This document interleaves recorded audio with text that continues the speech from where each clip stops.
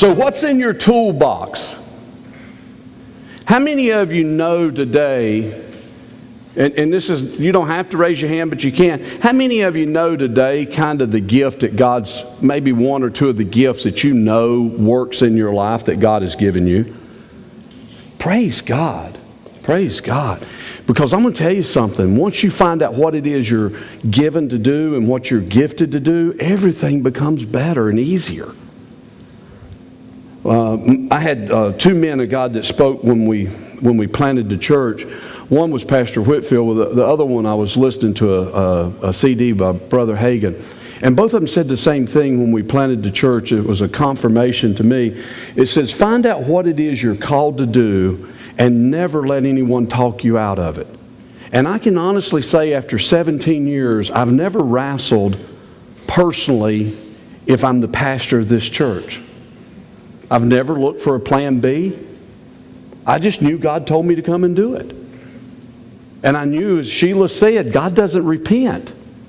He doesn't regret that He called you. He doesn't regret that He gifted you. You may go long periods of time, like I did, without being in your gifting, without fulfilling the call of God on your life. But listen, God's not, He's not ticked off. He's not a man. He's not as a man. Good setup. We didn't plan it, but a great setup.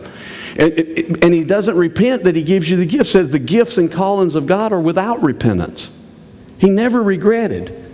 And so, anyway, as we look at this again, the toolbox represents your heart. The gifts is what God gives you. And I just want you to get this visual so that you'll always remember. And you say, Does it work that way? Yeah, the Lord reminded me this past week. I still remember one of the first messages I ever heard Pastor Whitfield minister at Agape Faith Church. And I didn't remember all of them, but I remembered that. And why? Because he had a rowboat up on the stage.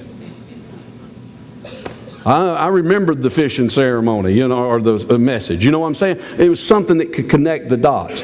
So let's jump in. And as I said, the Holy Spirit, the importance of the Holy Spirit in your life. And, and let me just say this real quick. I grew up Pentecostal, and we were to the extreme over here. We blamed the Holy Spirit for everything. Even if we were out of order and causing confusion in the church, and we did, we blamed the Holy Spirit.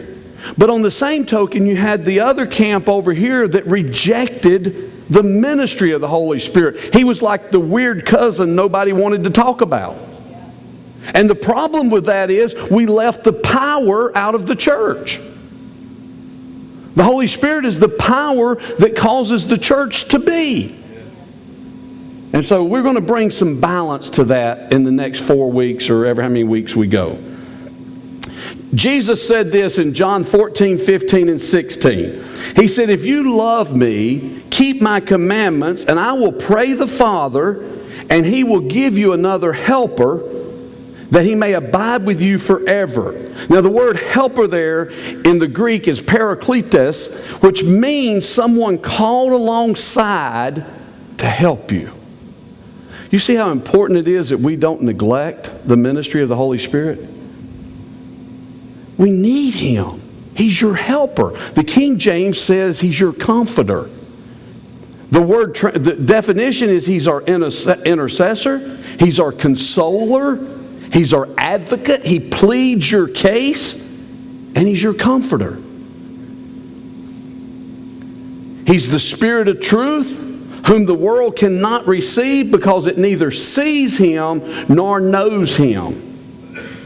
But you know him for he dwells with, with you and will be in you. I will not leave you orphans, I will come to you. What is an, what could, I'm not saying all orphans, let's just take in the physical, an orphan. What is some of the things an orphan can feel? Neglected, don't belong, subpar, less than. I'm not saying anybody's ever been an orphan felt that way. I'm saying these are some things that an orphan could feel. What do you and I feel without the Holy Spirit? All the things I just said.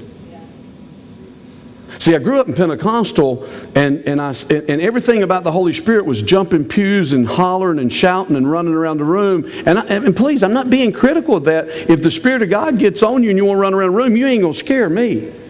I don't believe there's a person in here that can do anything, including BB, that would scare me. If the Spirit of God comes on you and you do so, you ain't going to scare me because I've seen some stuff. But my, my connecting the Holy Spirit with all of that, what I didn't know until I really gave my heart to the Lord in 1996 is I didn't know that He was called to be my helper. He was called to be my friend. In other words, when it's dark and nobody else is around and nobody seems to understand you, and maybe people are criticizing you, and maybe people don't get you, He does. And He's an ever present help in your time of need. He's your comforter. You and I, when we receive and understand that when we accepted Christ, the Holy Spirit lives in our heart. When you get that revelation down in your heart, you, you should never feel alone again.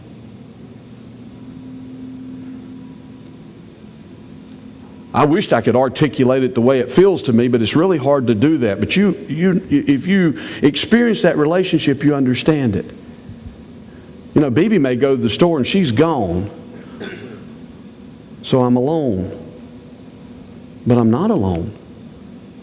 I'm never alone. You're never alone. You're not an orphan. You're a child of God. And in order for us to take our rightful place and let God into our heart, our toolbox, and receive the gifts He has for us, we have to realize we're a son or a daughter. So, this whole message is going to not just talk to us about the importance of the Holy Spirit, but it's going to assure us who we are, and it's also going to assure us of what we have. Here's what Jesus said He'd never leave them orphans. He said, I'm going to send the Holy Spirit. Acts 2 1 and 2 says, When the day of Pentecost had fully come, they were all in one accord in one place, and suddenly there came a sound from heaven as a rushing mighty wind, and it filled the whole house where they were sitting. Then there appeared to them divided tongues as fire, one set upon each of them, and they were all filled with the Holy Spirit and began to speak with other tongues as the Spirit gave them the utterance. Now, there's two things I want to say right here, and we're not going to teach on the filling or the baptism of the Holy Spirit today unless God directs us a little later in the message. But understand this when you're born again child of God, you're born again by the Spirit of God, or you're not born again. You have accepted the social gospel, you've accepted something in, in your intellect, but when you're born again, your heart's renewed, recreated, as the Bible says, it's because of the Holy Spirit, it's not because of anything else.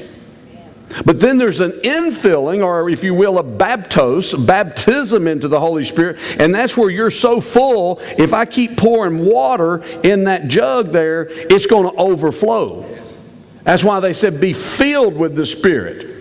Paul said it this way He said, Don't be drunk with wine where it's in excess. He said, But be filled with the Spirit. What was he saying? The wine is a counterfeit, the Spirit's the real deal.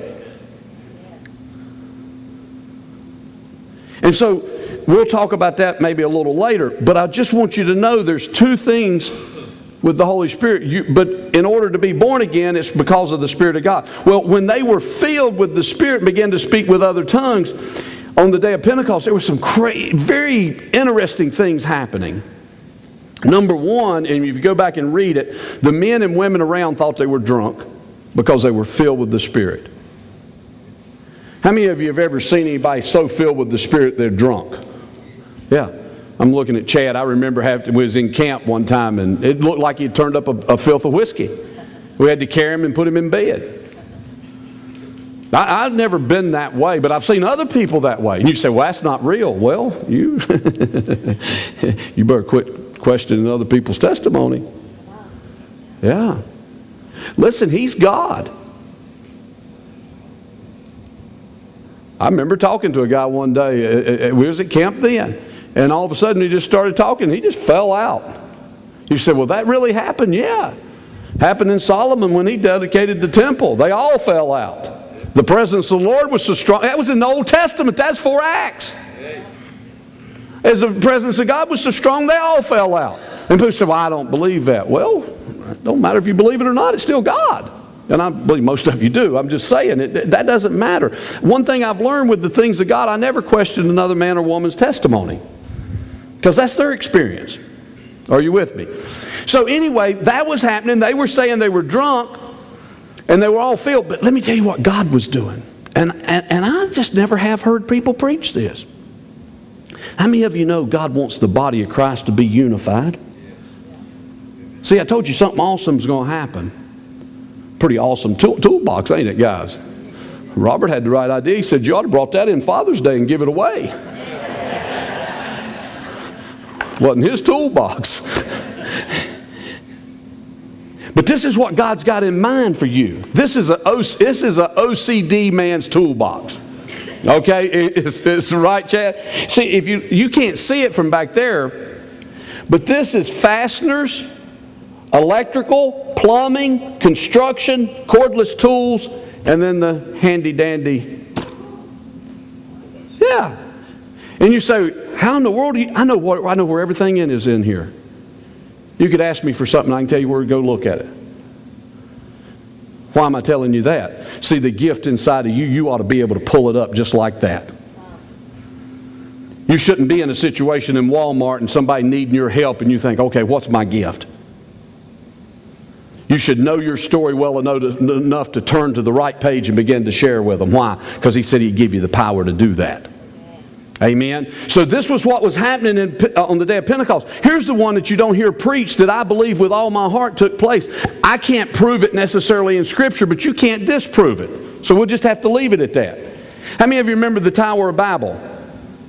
What did God say? He said, if we don't go down there and confuse their language, nothing will be impossible with them and people were scattered abroad. If you go back and read about the Tower of Babel and archaeological digs, what you find is the tower they was building, listen to me church, they were building it out of what they referred to as ziggurats, not cigarettes, ziggurats.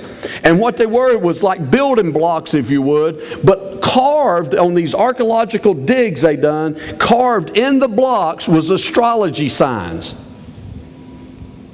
What was that? Man elevating himself above God. And God says, That's enough. So he confused their language. But when you look in Acts 2, it said people were from all of these different regions that day. There was 120 in the upper room, but all the people in Jerusalem was all scattered around. And said when they began to speak in other tongues, every man heard in his own language. What did God do? He brought it all back together. And see, we shouldn't have to preach on unity in the church. I don't know if you've noticed this, you don't hear your pastor preach on unity. Why? Because we shouldn't have to. We're the body. What I do need to preach on is who you are in Christ, what you have, and how to use it. This is unity. If you hear these things, and I, this is another reason I wanted to do this, listen. That's not a good one. I mean, it's a good one, but it doesn't make the sound I want it to. I want you to listen. See, God wants us to lock together and do something amazing for Him. He built this building to show us He can do it. Now it's time to do it. He wants us to affect this community. He wants us to affect our workplace. He wants us to affect our family. And He gave us a place to come together and learn how to do that. But they all began to hear in their own language. See, this is something that I received years ago. People say, well, I think we ought to do this. I think we ought to do this. What does God say? It was so elementary when I heard this, but it really clicked with me years ago. There's only one Holy Spirit. Now, I know that's deep.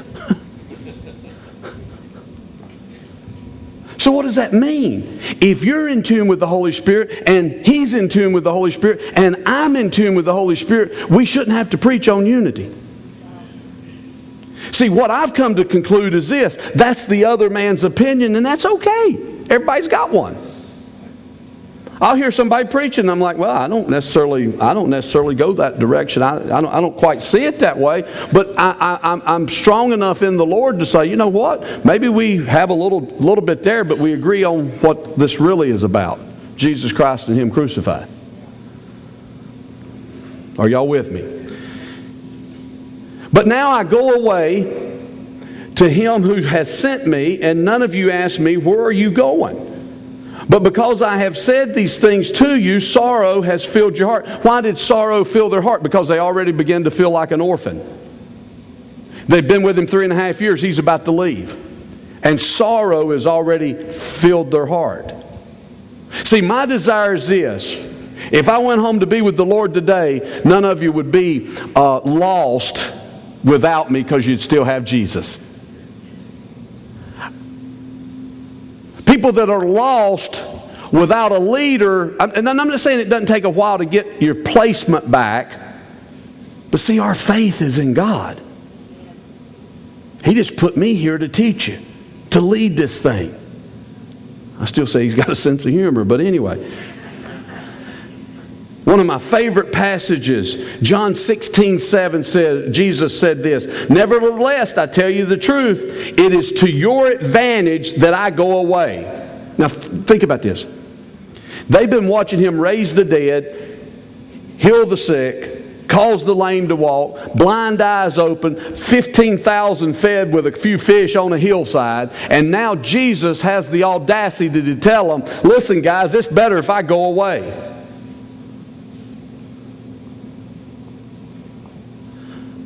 Yes, Lord. It'd be equivalent to me telling you maybe something, this would be a good illustration. It'd be equivalent to me telling you today, well, you're better to stand, so get rid of the chair. What was Jesus doing? It was like he was removing himself from what they held dear. They began to feel like orphans.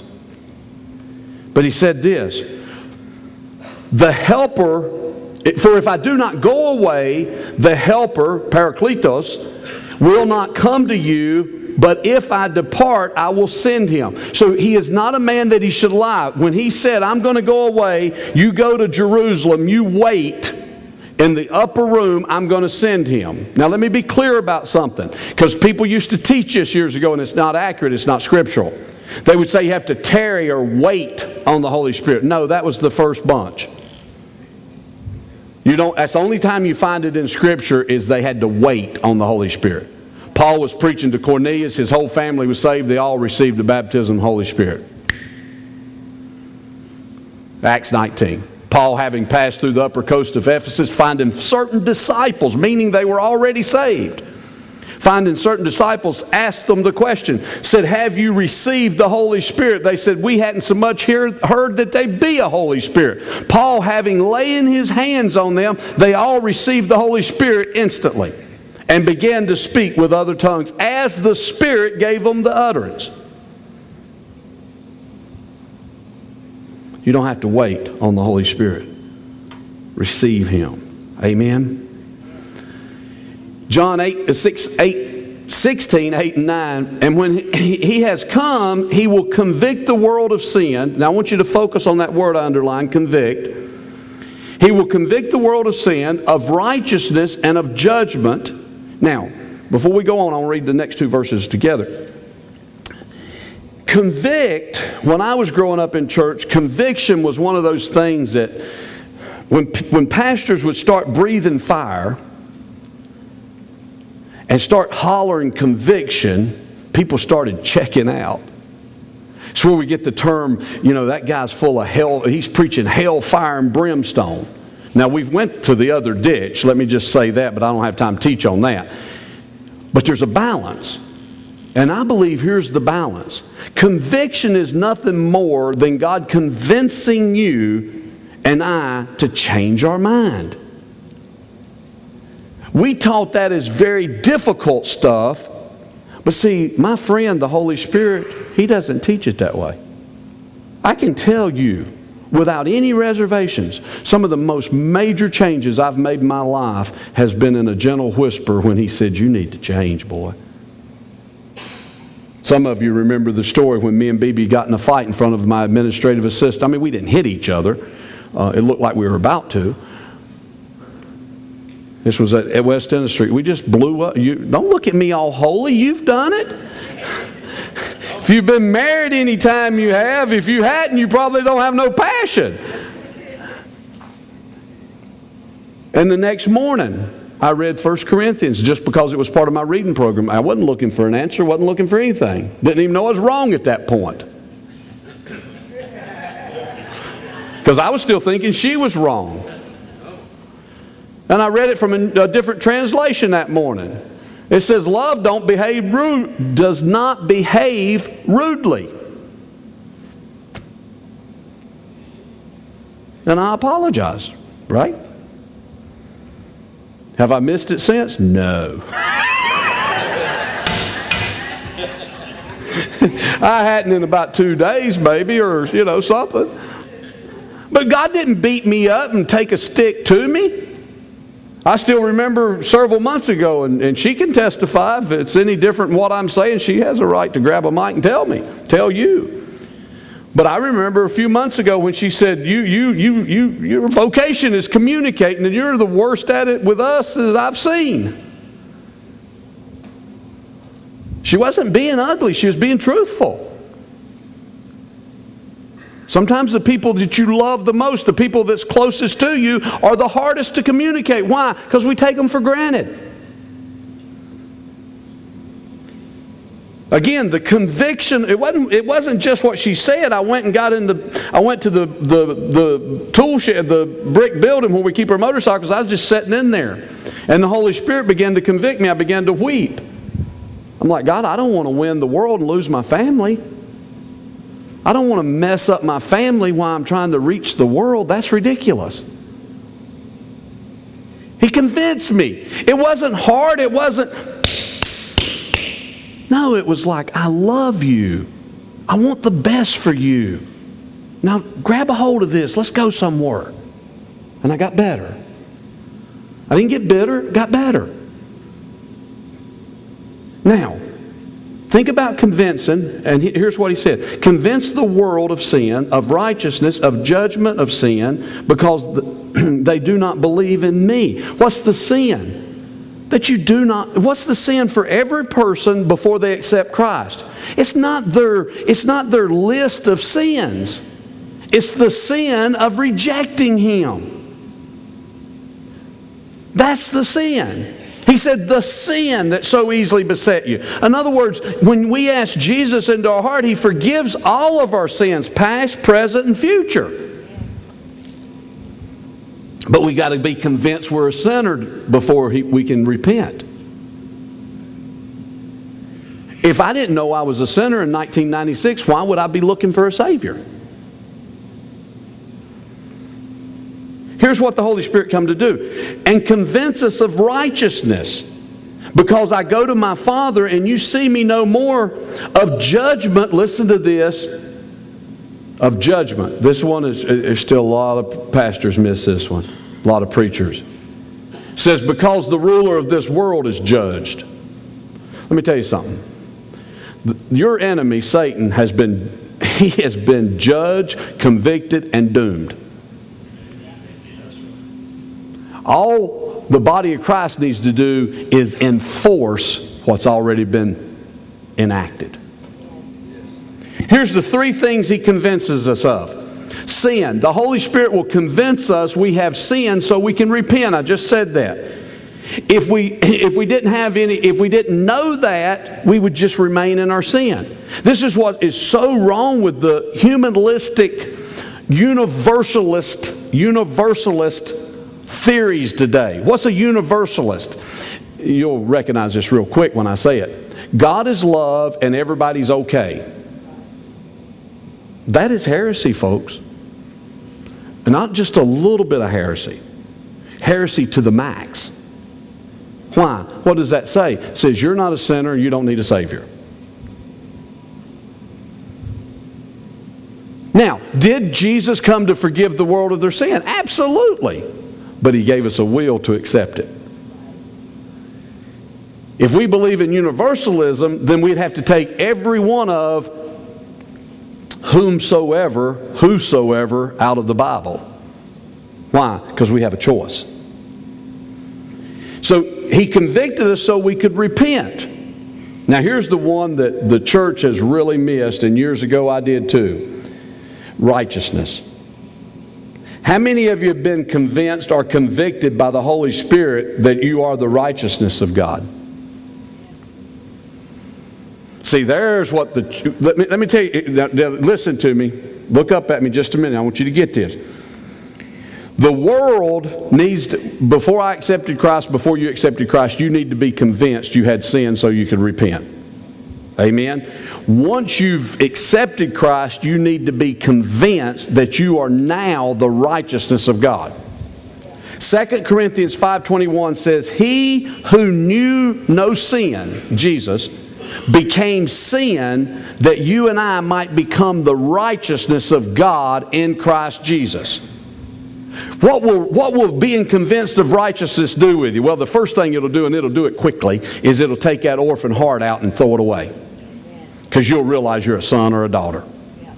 I'm the righteousness of God, not based on my behavior. I'm the righteousness of God based on what He done. Holiness is about my behavior. I still need to keep His commandments. I still need to live right, not to be saved just because it'll go well with me. God has a prescription, and if we follow, it's just a lot better.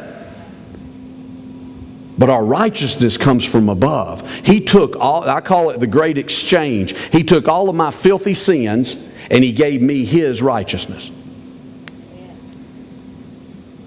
Best deal I ever made. And I love a good deal. The best one I've ever made. Why? Because I didn't have nothing to offer and I gained everything. And so did you. So he convinces us of a righteousness. Here's the one that we need to get judgment have you ever been convinced Satan has been judged and that you have authority over him? See, I'm not trying to whip the devil, he's already whipped. Quit rebuking the devil and live your life. Quit ever every time you run in and stump your toe, don't blame the devil. It may just be you missed, a, you missed a spot and stumped your toe. Quit giving him so much credit. He's whipped. He's been beaten. How do I know that? Because Jesus hung on a cross over 2,000 years ago, stretched out between heaven and earth, and he said, It is finished. I've been to hell. I got this is Jesus. He said, I've been to hell. I got keys to death, hell, and the grave. He said, All power's been given to me, therefore you go. What is, that? That's, that's the clarion call. It's called the Great Commission, not the Great Omission. It's the Great Commission. We are to go and be a witness. He never said do witnessing. He said be. What you be is much more important than what you do. How do you be a witness? You just be real. You just be real. Don't, don't preach at people. Be real with people. Live a life that inspires people to do better, to live for Christ. John 14, 26, but the Helper, the Holy Spirit, whom the Father will send in my name, he will teach you all things.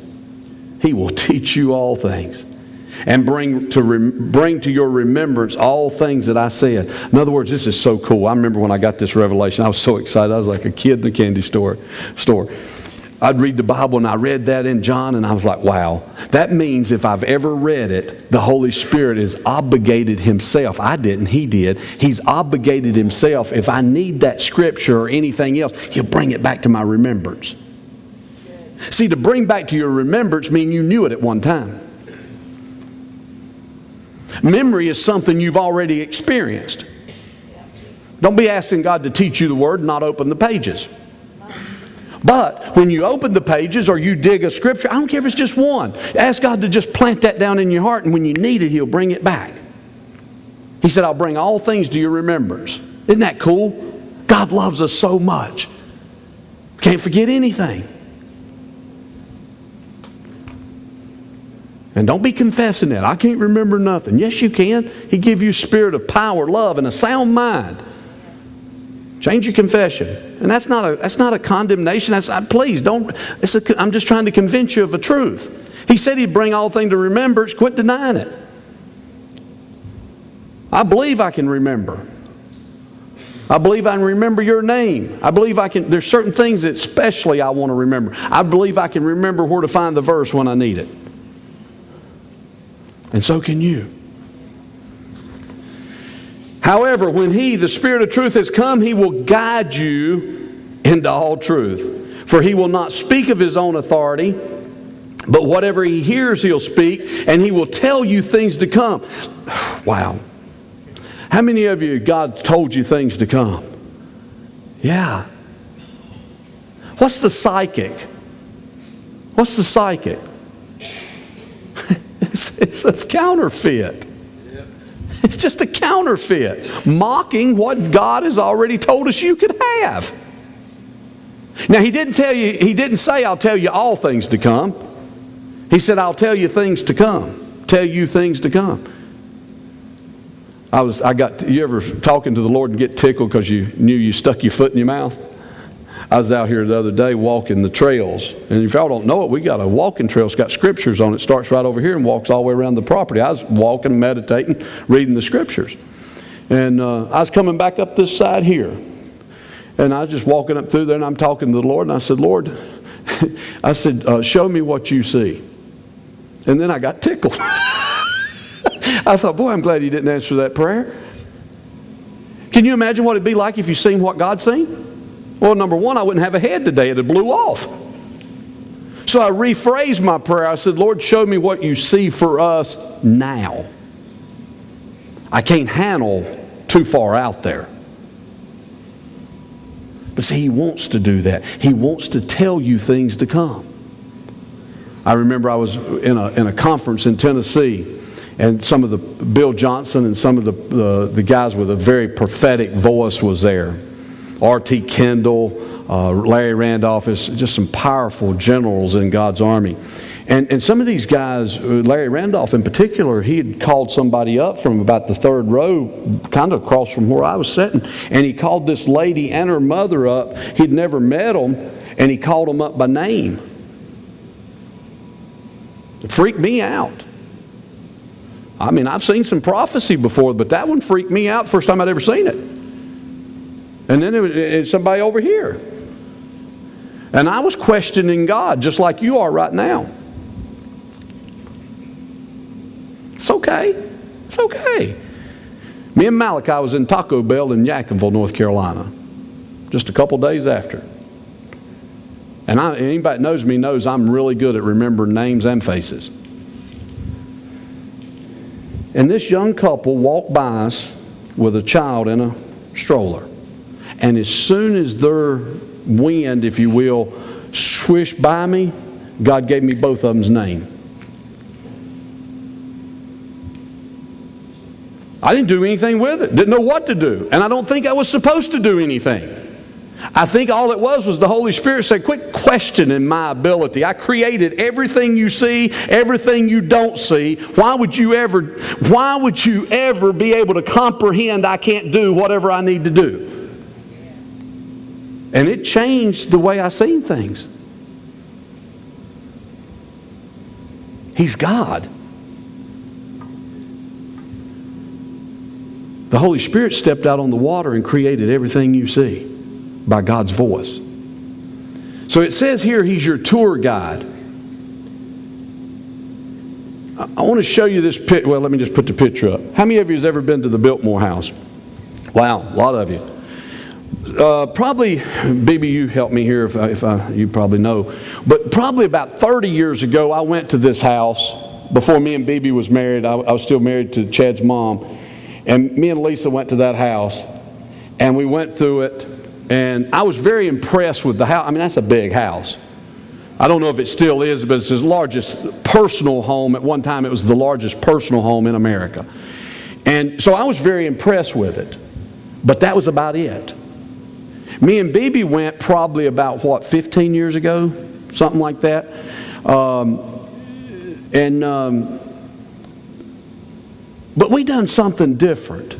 When we got up there to pay, they offered to sell us a tour guide on MP3 player for seven bucks. And they were going to guide us through the mansion, the house. I'm not going to tell you everything I learned because we don't have time. But I just want to hit you with a few things that 30 years ago I didn't know, 15 years ago I knew clearly. Why? Because I had a tour guide. The Holy Spirit said, I'll guide you into all truths.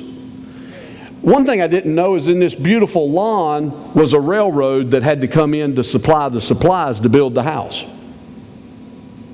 I didn't know that a bachelor built the house. That's enough house for 15, 20 kids or 50 maybe. He was a single guy, George Vanderbilt.